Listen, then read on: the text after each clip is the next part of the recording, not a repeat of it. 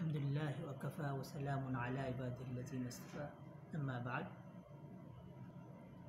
আজ আপনাদের সামনে কোরবানি বিষয়ে আলোচনা করব। বিশেষ করে একটা পশুতে, বড় পশুতে কয়জন পর্যন্ত শরিক হওয়া যাবে সেই বিষয়ে এবং তার সাথে আকিকা দেওয়া যাবে কি না এবং গোষ্ঠ কীভাবে বন্টন করতে হবে।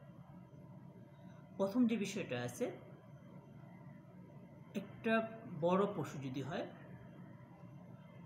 তাহলে সেখানে সর্বসম্মতিক্রমে একাধিক ব্যক্তি সর্বোচ্চ সাতজন পর্যন্ত শরিক হতে পারবে, তাদের পক্ষ থেকে কোরবানি দেওয়া যাবে। এখানে বেজোর সংখ্যক হতে হবে বা বেজোর সংখ্যক অংশীদার হতে হবে এরকম না। দুজন হতে পারবে, তিনজন হতে পারবে চারজন হতে পারবে, পাঁচজন সুযোগ আছে, ছয়জনের সুযোগ আছে, সাতজন পর্যন্ত সুযোগ আছে, সাতজনের বেশি হতে পারবে না। তবে সবার উদ্দেশ্য যেন হয়, আল্লাহ তালার সন্তুষ্টির জন্য, আল্লাহর সন্তুষ্টির জন্যই কোরবানি হবে। লোক দেখানো বা গোস্ত খাওয়া বা এই ধরনের কোনো যেন মানসিকতা কারও না থাকে। যদি একজনও এমন হয় যে, যাদের মানসিকতা চলে আসছে যে না গোস্ত লোক দেখানো তাহলে কিন্তু সবার কোরবানি নিয়ে সমস্যা দেখা দিবে। দ্বিতীয় যে বিষয়টা আছে যে কোরবানির সাথে আকিকা দেওয়া যাবে কিনা, এই প্রসঙ্গটা ইদানিং খুব বেশি আসছে আমাদের সামনে। যে অনেকে মনে করে যে আকিকা তো একটা জানের পরিবর্তে দেওয়া হচ্ছে জানের পক্ষ থেকে সৎকা দেওয়া হচ্ছে, সেটা এককভাবে হতে হবে। এখানে একটা গরুতে কোরবানি হবে, আকিকা হবে, সেটা কীভাবে হয়? এটা সেটা হতে পারে। কোরবানি এবং আকিকা যৌথভাবে হতে পারে। মূলত একটা বিষয় আপনার যে জানার দরকার আছে, সেটা হলো আকিকা কিন্তু মুস্তাহাব। অনেকে বলেন সুন্নত। ফতোয়ার কিতাবে আমরা মুস্তাহাবি পেয়েছি। এবং এটা নিয়ম যেটা হলো, সেটা হলো সপ্তম দিবসে জন্মের সপ্তম দিবসে দেওয়া, চোদ্দতম দিবসে দেওয়া, একুশতম দিবসে দেওয়া, আঠাশতম দিবসে দেওয়া বা এভাবে মানে প্রতি সপ্তম দিবস ধরে ধরে ধরে এভাবে দেওয়ার আকিকার নিয়ম। তো কেউ যদি তখন না দিতে পারে, পরবর্তীতে যদি কোরবানির সাথে দিতে চায়, অথবা কোরবানি ছাড়া এমনিতেও দিতে চায়, সেটারও সুযোগ আছে। এবং কি বড় হয়ে নিজের আকিকা নিজে দিতে যদি চায়, সেটাও সুযোগ আছে। এখন প্রসঙ্গ যেটা আসতেছিল, সেটা হলো যে, আকিকা কোরবানির সাথে দেওয়া যাবে কিনা? হ্যাঁ আকিকা কোরবানির সাথে মিলিয়ে দেওয়া যাবে। সেখানে ছেলেদের পক্ষ থেকে যেমন দুটা ছাগল দিতে হয়, মেয়েদের পক্ষ থেকে একটা দিতে হয়, ঠিক একইভাবে শরিক যখন হব, অংশীদার যখন নেওয়া হবে, সেটা যেন দুইজন নেওয়া হয়, ছেলেদের পক্ষ থেকে এবং মেয়েদের পক্ষ থেকে একটা শরিক নেওয়া হবে। এখন তৃতীয় প্রসঙ্গে আসি, সেটা হলো যে গুস্ত বিতরণ। গুস্ত বিতরণ আকিকার গুস্ত এবং কুরবানি গুস্তের ব্যাপারে একই হুকুম। সেটা হলো কেউ যদি মনে করে যে আমি পরিপূর্ণ গোস্ত সবটুকু গোস্ত আমি নিজেরা খেয়ে নিব।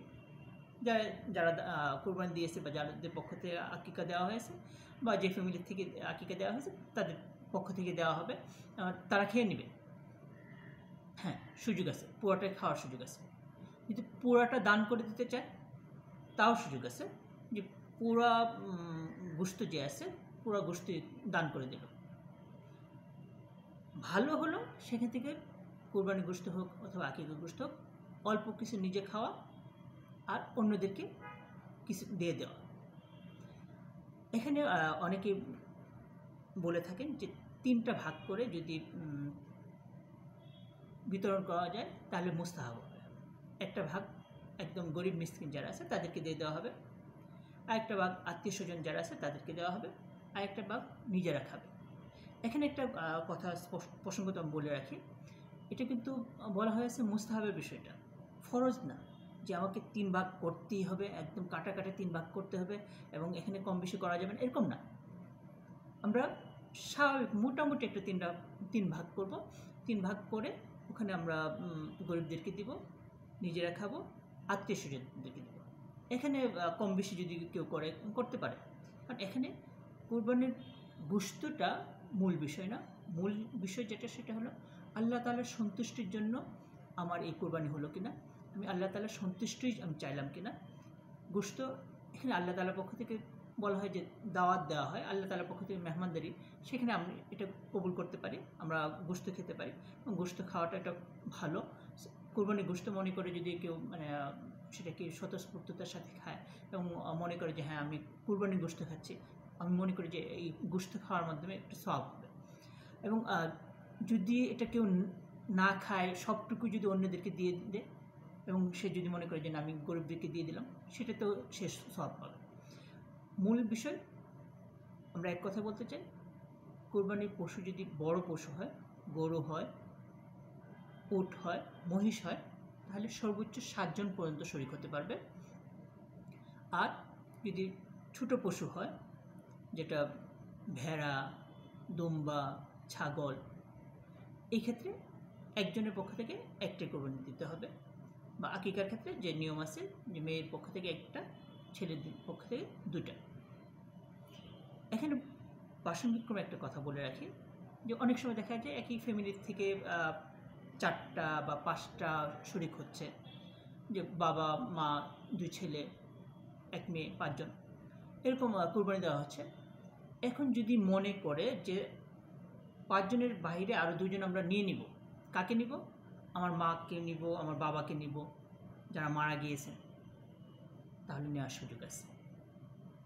এবং কি রসুল্লাহ সাল্লাহ সাল্লামের পক্ষ থেকে যদি কোরবানি করা হয়, ছয়জনের সাথে যদি সপ্তম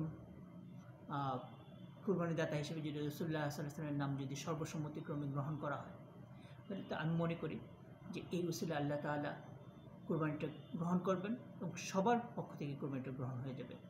এবং এটা জরুরি না। যদি সুযোগ থাকে, তাহলে সেটা করা যেতে পারে। এবং যাদের সামর্থ্য আছে, কেউ যদি মনে করে যে, না, আমি একটা এককভাবে একটা কোরবানি রসুল্লাহ সাল্লাহ সাল্লামের পক্ষ থেকে দিব। কোনো সাহাবার পক্ষ থেকে দিবে বা কোনো বুজুর্গের পক্ষ থেকে দিবে বা কোনো ব্যক্তির পক্ষ থেকে দিবে, সেটাও সুযোগ আছে। এখন গোস্ত মৃত ব্যক্তির পক্ষ থেকে যে কোরবানি দেওয়া হবে সাহাবাই কারামের পক্ষ থেকে যে কোরবানি দেওয়া হবে, রসুল সাল্লাহ পক্ষ থেকে যে কোরবানি দেওয়া হবে, সেই গোস্তটা কি নিজেরা খেতে পারবে? নাকি গরিবদেরকে দিয়ে দিতে হবে? আগে যে কথা বলেছে, সেই একই কথা যে কোরবানির গোস্ত সবাই খেতে পারে।